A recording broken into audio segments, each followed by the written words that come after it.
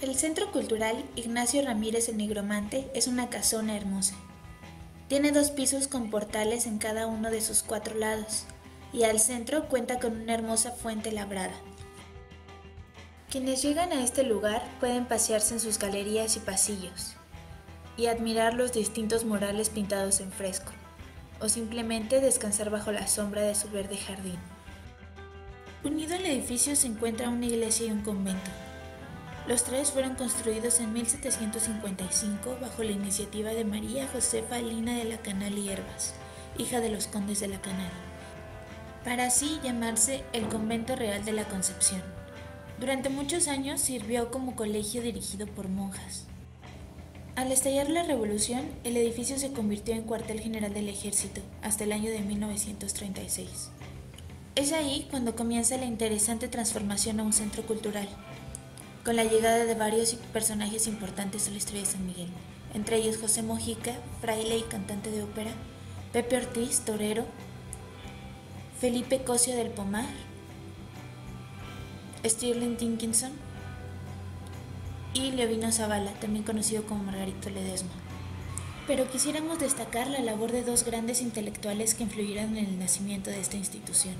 Felipe Cosio del Pomar pidió al presidente Cárdenas que se le otorgara el exconvento para convertirlo en una escuela donde enseñarían expresiones artísticas.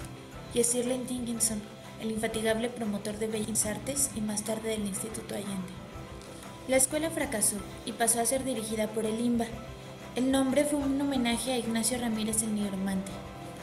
Escritor y político nacido en San Miguel, fue un destacado miembro del movimiento liberal al lado de Juárez ocupando varios puestos políticos. Siempre se mostró fiel a sus ideales y principios.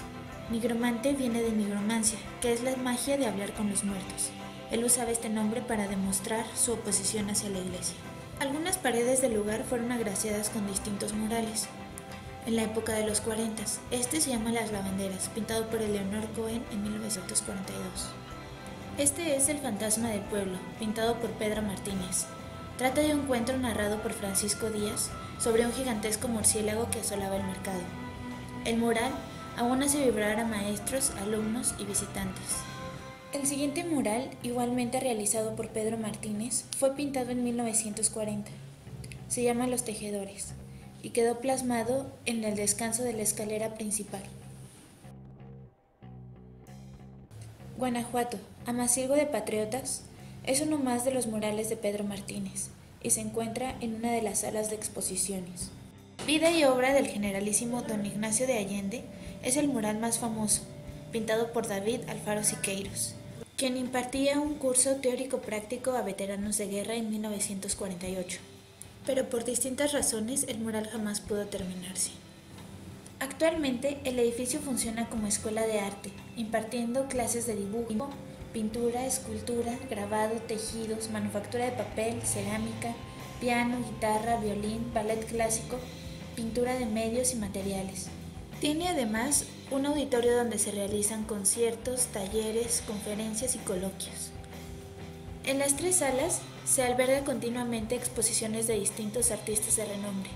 Y por si esto fuera poco, el segundo sábado de cada mes se realiza un concierto completamente gratuito en los jardines del recinto.